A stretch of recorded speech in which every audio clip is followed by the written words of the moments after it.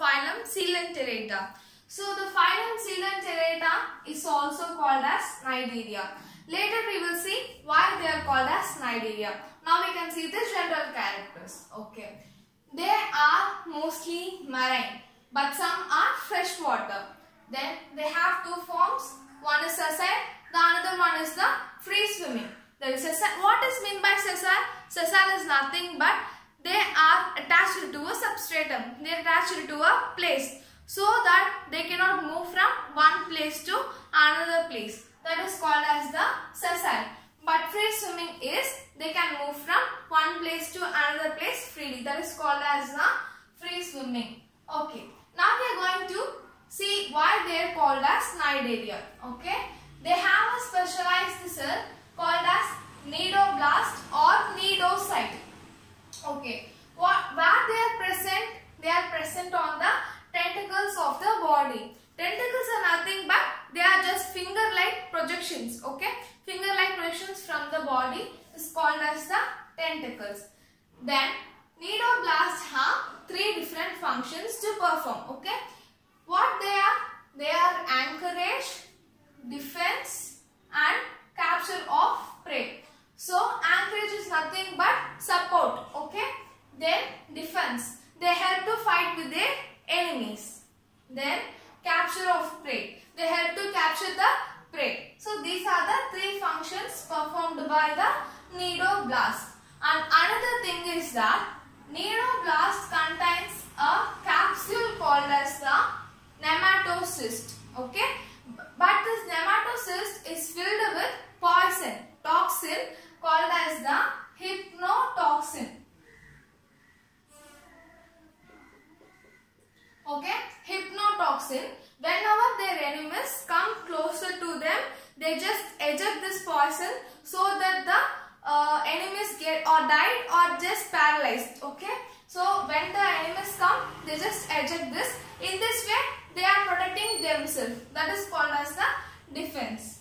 Okay. Then they have tissue level of organization. Tissue level of organization is that in Porifera we saw that they have cellular level of organization. Okay, what is in the cellular level? They cannot form any tissue. Each cell do different job, different function, right? But here the cells form tissue and each cell do different function. Okay, so tissues do different functions called as the tissue level of organization. The next one is radially symmetrical. So uh, these terms are already learned in the previous classes. So go check the previous uh, videos. We can continue with this. Okay. So radially symmetrical. Then the important feature of phylum Coelenterata is they have gastrovascular cavity. Okay. This gastrovascular cavity helps in digestion. Okay. This gastrovascular cavity helps in digestion and they have incomplete gut that is they have only opening which serves as both mouth as well as anus incomplete gut and mouth is present on the hypostome okay then some are some of the coelenterates are corals so they have a skeleton made up of sealant, uh, sorry calcium carbonate so you all already saw what is corals, right? They are hard to see. So they are made up of calcium carbonate.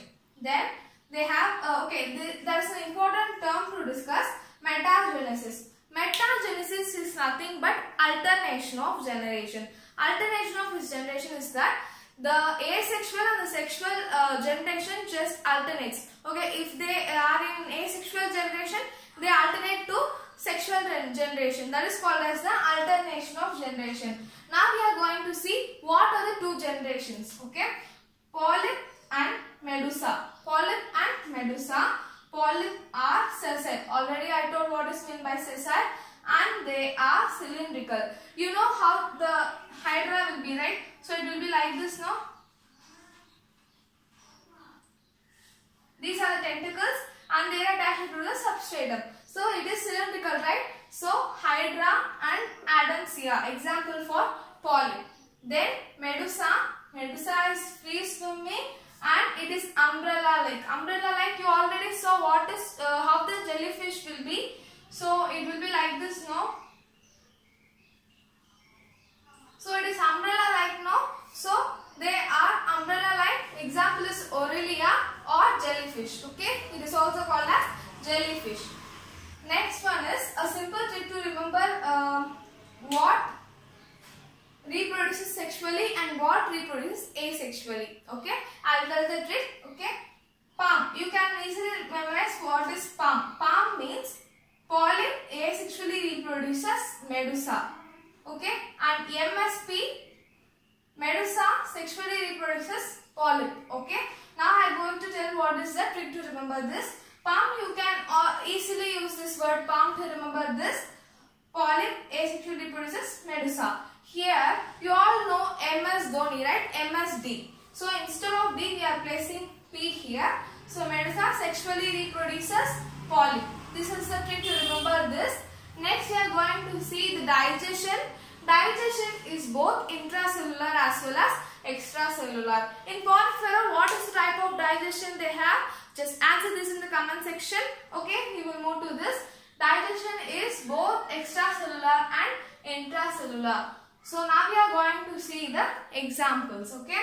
So first one is the Physalia, Portuguese man of war, Adamsia, sea anemone. So both have the same pronunciation, similar pronunciation. So you can easily memorize this. Next one is the Pennatula, sea pen. Here also pen and here also pen. So it is again easy to memorize.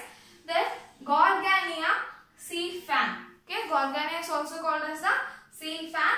Meandrina is also called as the brain coral. So this is about the phylum Coelenterata and the very important thing is gastrovascular cavity in phylum Coelenterata and many questions are asked in the examinations.